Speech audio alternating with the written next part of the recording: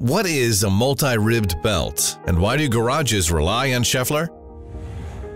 Some people will still remember being able to replace a cracked V-belt with lady stockings as a temporary fix. This workaround is no longer possible on modern vehicles. The demands placed on the front-end auxiliary drive have increased considerably. More and more components need to be driven, including the water pump, steering pump, air conditioning compressor, and alternator. What's more, vehicle engines are now smaller and more efficient. Engine downsizing leads to higher loads across the entire front-end auxiliary drive. The conventional V-belt is no longer suitable for these demands.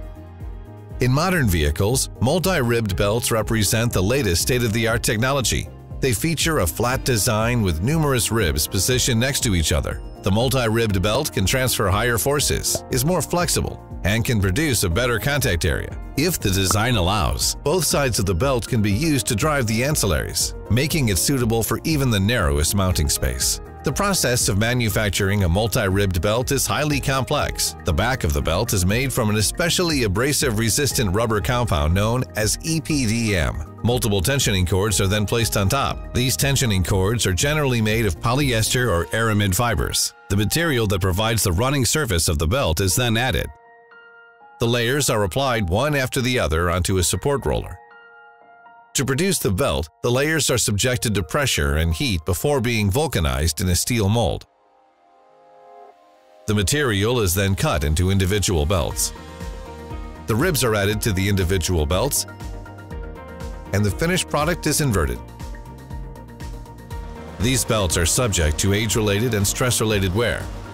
However, a malfunction of the surrounding components or undesirable external factors, such as oil leaks, can also have a negative impact on the durability of the belt. To enable a smooth replacement process, INA has a broad range of V-belts and multi-rib belts available as individual products. If other components of the front-end auxiliary drive are also defective, the INA FEAD Kit provides a solution for performing an especially long-lasting repair. For more information about Schaeffler's expertise on front-end auxiliary drives and everything that garages need, visit www repxpert.com.